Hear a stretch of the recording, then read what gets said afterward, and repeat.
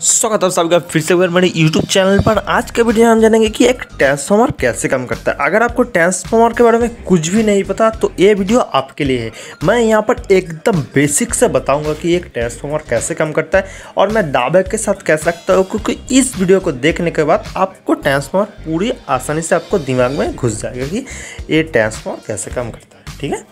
तो चलो स्टार्ट करते हैं। देखो, सबसे पहले मैं क्या करूँगा, एक डीसी करंट को मैं दिखाऊँगा, ठीक है? जैसे कि आप सभी को पता है, कोई भी करंट अगर फ्लो होता है तो क्या होता है, उस करंट के आसपास एक मैग्नेटिक फ्लक्स क्रिएट होता है। जैसे यहाँ पर आपको दिख रहा है ये एक एक वायर इस वायर से मान लो आप एक करंट फ्लो राइट ये डीसी करंट आप मान लो, पहले हम मैं डीसी दिखाऊँगा, फिर मैं एसी दिखाऊँगा, फिर धीरे धीरे आगे बढ़ेंगे, ठीक है?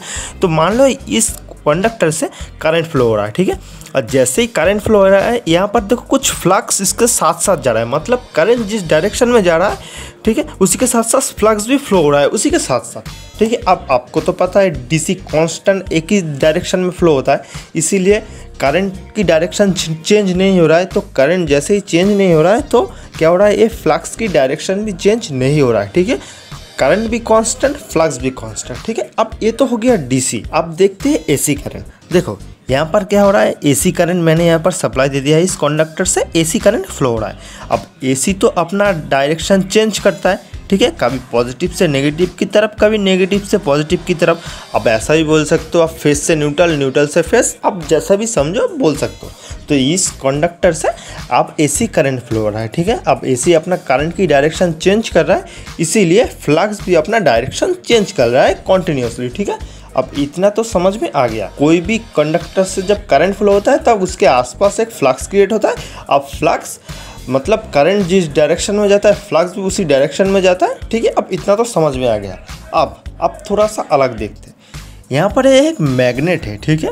जैसे आपको पता है, मैग्नेट का दो पोल होता है, एक होता है नॉर्थ और एक होता है साउथ। और मैग्नेट का फ्लक्स किस डायरेक्शन से, किस डायरेक्शन में जाता है? नॉर्थ से साउथ की तरफ़ इसका फ्लक्स फ्लो होता है, ठीक है? अब इस मैग्नेट के ठीक सामने, मैं क्या कर रहा हूँ, ये कंडक्टर रख दे रहा हूँ, देखो। एक मैंने यहाँ पर एक कंडक्टर रख दिया, ठीक इस मैग्नेट के सामने। अब किसी को पता है कि इस कंडक्टर में कैसे करंट फ्लो होगा? अब कैसे इंड्यूस ई जनरेट होगा इस कंडक्टर में? कोई बोल सकता है, किसी को आइडिया है, ठीक है? अगर आपको थोड़ा सा आइडिया नहीं है तो ध्यान से देखो। इस कंडक्टर को मैं जैसे इस मैग्नेट के फ्लक्स के कट करूँगा, ठीक है? जैसे इस कंडक्टर को इस मैग्नेटिक फ्लक्स से कट करूँगा तो क्या होगा? इस कंडक्टर के अंदर एक ई ईएमएफ जनरेट होगा। लेकिन मैं कट कैसे करूँगा? या तो मुझे इस कंडक्टर को फिक्स रख कर इस मैग्नेट को हिलाना पड़ेगा, या फिर इस मैग्नेट को फिक्स रख कर मैं इस कंडक्टर को हिलाऊँगा, ठीक है? तो क्या होगा? ये जो फ्लक्स है, ये फ्लक्स क्या करेगा? इस कंडक्टर को कट करेगा। जैसे ही कट करेगा, इसके अंदर एक इंड्यूस ईएमएफ जनरेट होगा, ठीक है?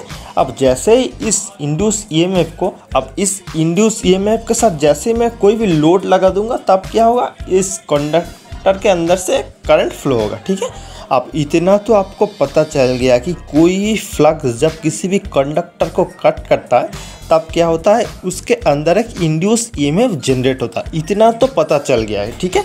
अब मैं आपको ये सब क्यों दिखा रहा हूँ? देखो, अब मान लो ये कॉयल है, ठीक है?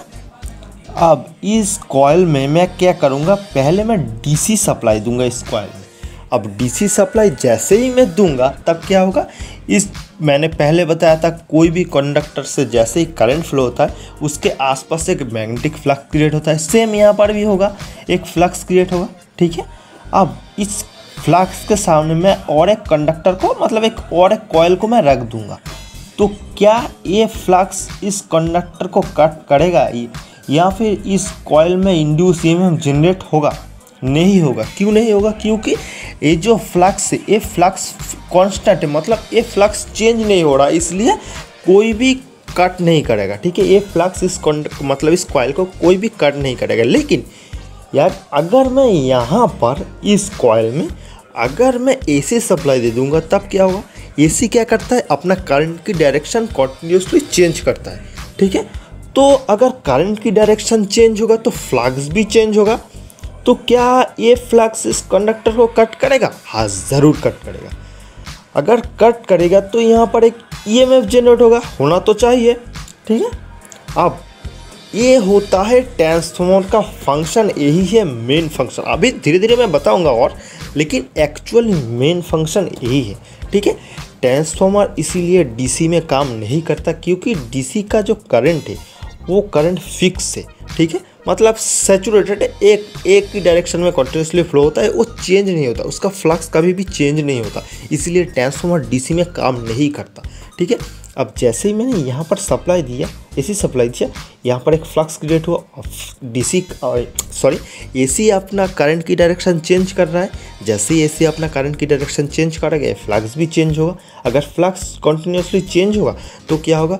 कोई भी चेंजेबल फ्लक्स के अंदर, जैसे ही हम किसी कंडक्टर को डाल देंगे तो क्या होगा? वो फ्लक्स उस कंडक्टर को कट करेगा और जैसे ही कट करेगा, तब क्या होगा? वो दूसरा वाला जो मतलब कॉयल है, ये जो कॉयल है, इस कॉयल के अंदर एक इंड्यूस ईएमएफ जनरेट होगा।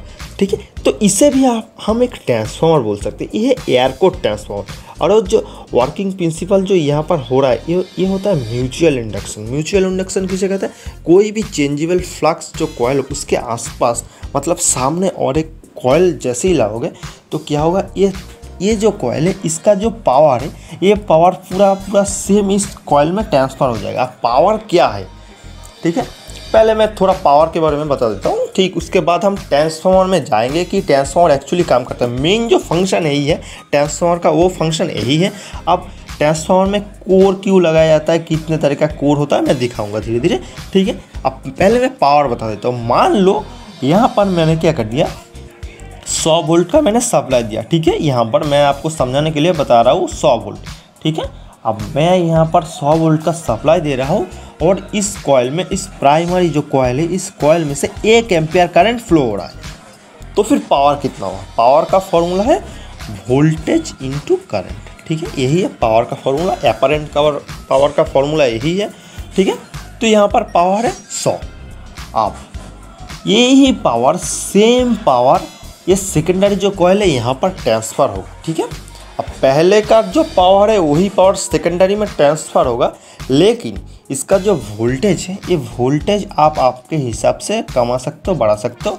वो डिपेंड करता है आपके सेकेंडरी में टांस कितना है, ठीक है? अगर आपने बहुत ज़्यादा टांस दे दिया, ठीक है?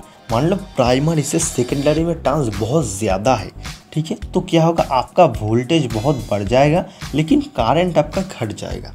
ठीक है? मान लो आपने क्या किया? सेकेंडरी में टांस आपका प्राइमरी के मुकाबले घटा दिया, ठीक है?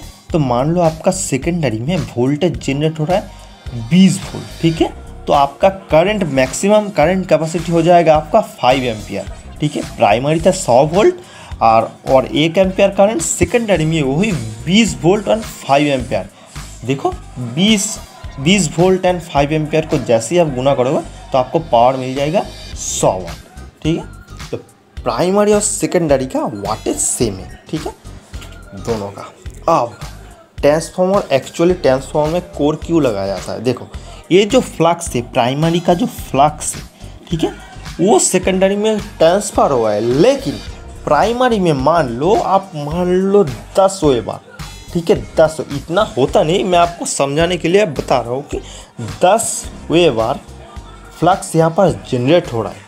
तो दस सोए बार जो फ्लक्स है, वो फ्लक्स कुछ इस दिशा में जा रहा है, कुछ इस दिशा में जा रहा है, कुछ इस दिशा में जा रहा है। इसे कहते हैं लीकेज फ्लक्स। तो लीकेज फ्लक्स इधर, उधर इधर, उधर जा रहा है। तो दस वे बार से मान लो आपका सात वे बार आपका सेकेंडरी में जा रहा है। तीन वे बार आपका इधर, उधर मतलब नष्ट हो जा रहा है, ठीक है? तो ये जो लॉसेस है, इस लॉस को रिड्यूस करने के लिए, ठीक है? हम क्या करते हैं? एक कोर लगा देते हैं, ठीक है? फ्लक्स जो है, वो कोर के अंदर से बहुत आसानी से फ्लो होता है, ठीक है? इसलिए हम कोर लगाते हैं। कोर होता है दो टाइप का मेनली होता है दो टाइप का। एक होता है सेल टाइप ठीक है? एक सेल टाइप होता है और एक होता है आपका कोर टाइप और ये दोनों का एक दूसरा भी नाम है। एक इस, एक को बोल सकते हैं आप टू विंडो एक को बोल सकते हो एक वन विंडो ठीक है? जो कोर टाइप है, उसे कहते हैं हम वन विंडो जो सेल टाइप है, उसे कहते हैं हम टू विंडो तो आप इसी के हिसाब से आप याद रख सकते हो। जो कोट टाइप है, उसका जो कॉयल है, एक कॉयल होता है इस यहाँ पर लगाने, लगाया जाता है और एक होता है यहाँ पर लगाया जाता है। लेकिन जो शिल टाइप होता है, वो क्या होता है? बीच में लगाया जाता है, एक के ऊपर एक। ठीक है, आप एक्चुअली ये काम कैसे करता है देखो। सबसे पहले मैं क्या करूँगा, इसको अलग अलग अलग अलग करूँगा। ठीक है, और मैं दिखाऊँगा। ये जो कोर होता है, ये कोर कभी भी सॉलिड नहीं होता है। ठीक है एक कोर होता है, सिलिकॉन स्टील से बना हुआ होता है और एक के ऊपर एक लगाया जाता है ऐसे। अब ऐसा क्यों किया जाता है, वो किसी और वीडियो में बात करेंगे। यहाँ पर मैं सिर्फ़ कंस्ट्रक्शन में मतलब कैसे काम करता है, मैं सिर्फ़ वही बता रहा हूँ, ठीक है? अब यहाँ पर जो एक कॉयल है, ठीक है? अब इस कॉयल में मैं क्या करूँगा एसी सप्लाई दूँगा। तो क्या होगा, यहाँ पर एक फ्लक्स जनरेट होगा, ठीक है? वही फ्लक्स इस कोर के अंदर से जाएगा सेकेंडरी को कट करेगा, ठीक है? देखो यहाँ पर कट कर रहा है। जैसे ही फ्लक्स फ्लो हो रहा है, देखो। अब जैसे ही फ्लक्स फ्लो होगा, ठीक है, उस कोर के अंदर से बहुत आसानी से एयर में जितना फ्लक्स फ्लो होगा, उससे ज़्यादा इस कोर के अंदर से फ्लो होगा। इसीलिए कोर का इस्तेमाल किया कोर का इस्तेमाल किया जाता है इसीलिए। फ्लक्स तो फ्लो हो रहा है। फ्लक्स फ्लो होने के कारण ही सेकेंडरी को कट कर रहा है। अब जैसे ही सेकेंडरी को कट करेगा तब क्या होगा? यहाँ पर एक इंड्यूस ईएमएफ जनरेट होगा। लेकिन अगर मैं यहाँ पर डीसी सप्लाई दे दे दूँ तो क्या ये काम करेगा? ये नहीं काम करेगा। क्यों नहीं काम करेगा? क्योंकि डीसी का जो फ्लक्स है, वो फ्लक्स कांस्टेंट है। सैचुरेटेड वो चेंज नहीं होता। अगर चेंज नहीं होगा तो फ्लक्स भी चेंज नहीं होगा।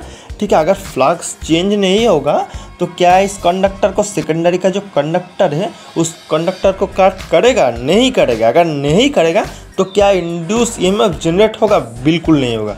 इसीलिए हमेशा ट्रांसफॉर्मर में एसी सप्लाई दिया जाता है डीसी दिया नहीं जाता।